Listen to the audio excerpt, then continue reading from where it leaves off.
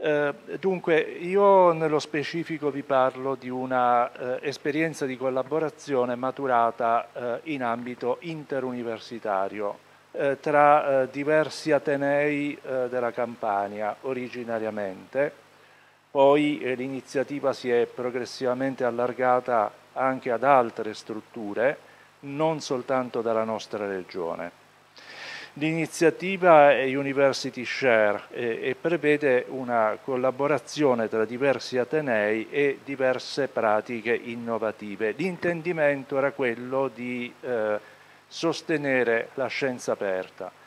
Eh, l'orientamento era questo semplicemente perché dovevamo rispondere a una crisi, a una domanda che in qualche modo quindi era scaturita da questa crisi iniziata già alla fine dello scorso secolo, perché il mercato della comunicazione scientifica, il mercato editoriale, ha subito fortissime eh, pressioni eh, a partire già alla fine del, del, del, XX secolo, in qualche modo quindi anche inducendo a usare gli strumenti anche innovativi che avevano anche accelerato una serie di transizioni in atto portando a ulteriore eh, formazione di monopoli rispetto ai quali bisognava in qualche modo anche dare una risposta, ha indotto sia eh, dire, il mondo delle biblioteche sia anche le comunità scientifiche a trovare delle soluzioni eh, di concerto tra loro.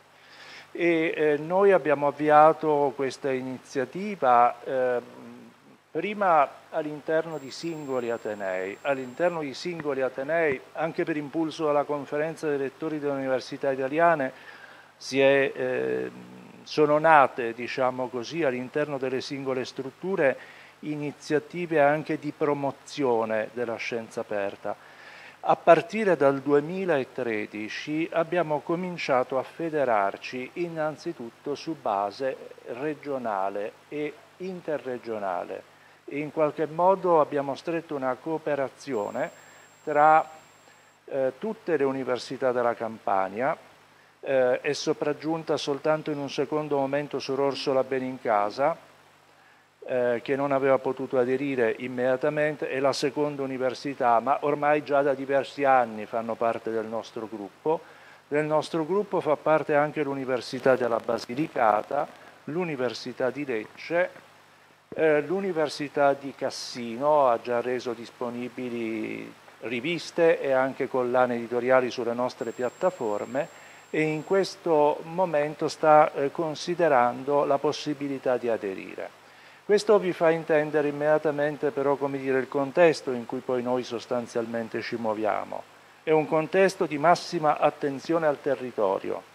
Ci siamo innanzitutto federati tra Atenei no, della regione, poi abbiamo gradualmente ampliato e poi naturalmente in un contesto quale quello della comunicazione scientifica in cui noi ci muoviamo, non ci si può, come dire, limitare al territorio, o meglio il territorio deve essere saldato a contesti più ampi, perché inevitabilmente i contesti in cui la comunicazione deve essere rilanciata non possono essere esclusivamente locali, anche se la fruizione a livello locale naturalmente è anche essenziale. Quindi rapporto con il territorio regionale, rapporto con un territorio interregionale e possibilmente anche su scala nazionale, ma poi soprattutto, lo vedremo anche tra un momento, confronto diciamo così, anche tra realtà del tutto esterne anche agli stati-nazione, perché la comunicazione scientifica in contesti così limitati. Allora nostra, il nostro impegno e anche nostra, il nostro obiettivo era di far dialogare questi diversi piani, perché poi anche dal confronto con queste eh, realtà del tutto esterne alla nostra, e vedremo tra un momento anche questa collaborazione come poi si è sviluppata con alcune con le maggiori università del Nord America, in qualche modo viene per noi anche una spinta a eh, rivedere determinate pratiche. Allora, intanto il progetto Share che cosa include? E qui entra immediatamente in gioco il territorio, il riconoscimento di tutti quanti gli utenti dei nostri Atenei come utenti interni.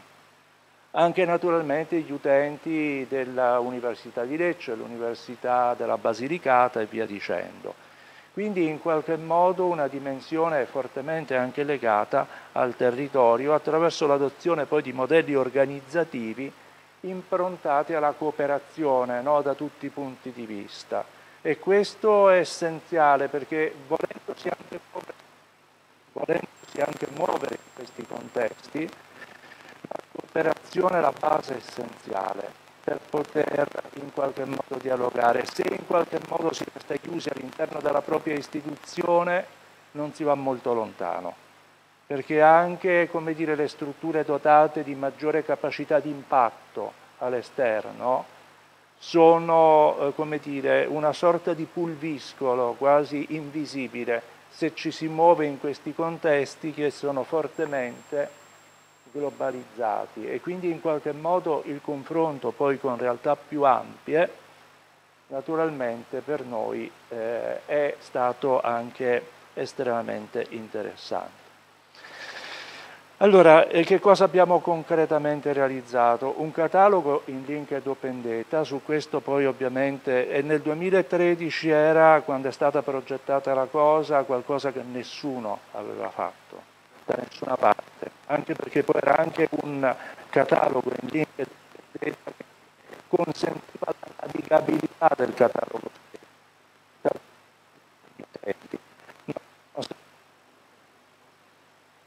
resi disponibili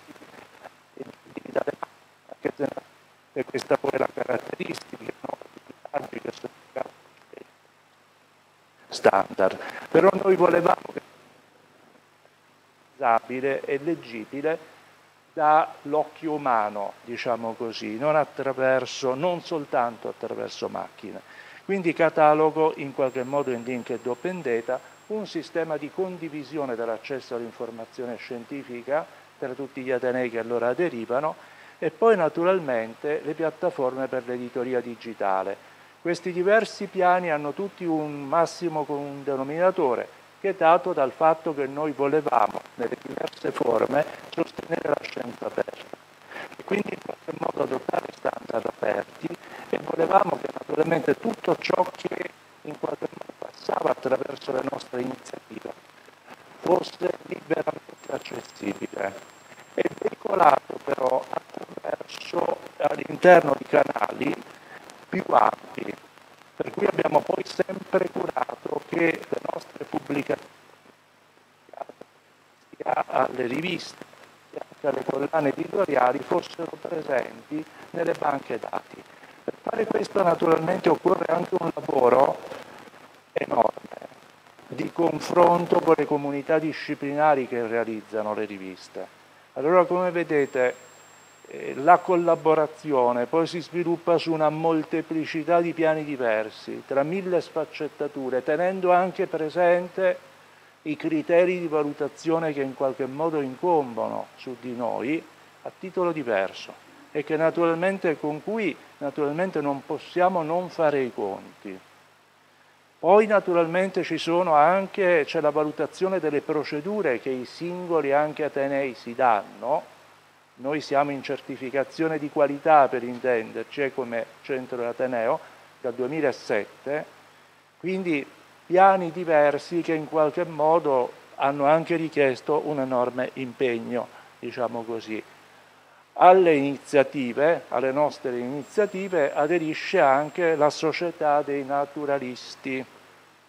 Non si sente.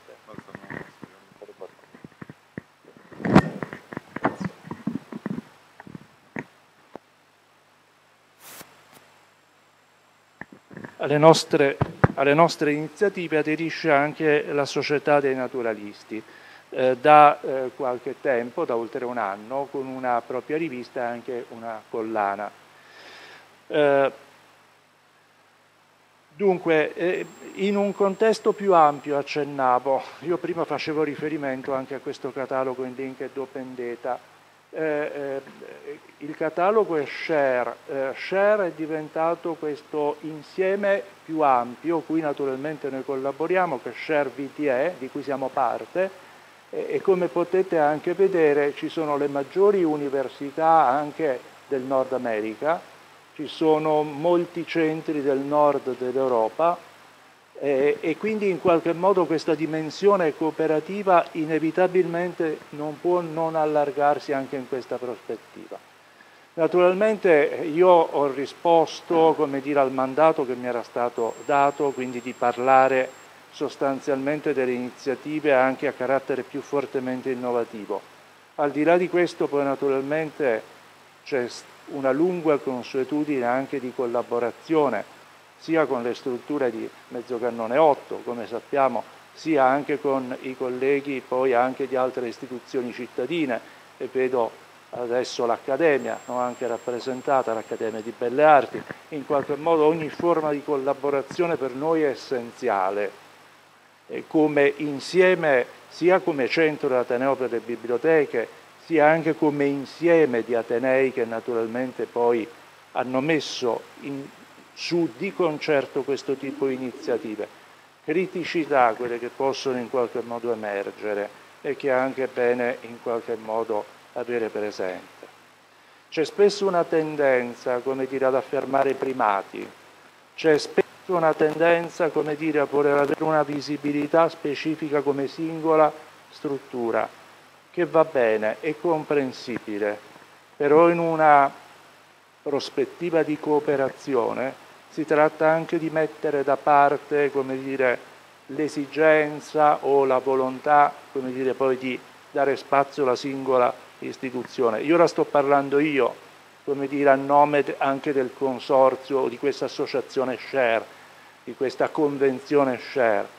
In altri contesti lo fanno altri, perché naturalmente queste iniziative devono diventare a tutti gli effetti iniziative comuni, iniziative in cui ciascuno è parte di una comunità più ampia, altrimenti possibilità che in qualche modo reggano o abbiano successo finiscono con l'essere estremamente limitate. Vi chiedo scusa se forse ho parlato anche più del dovuto.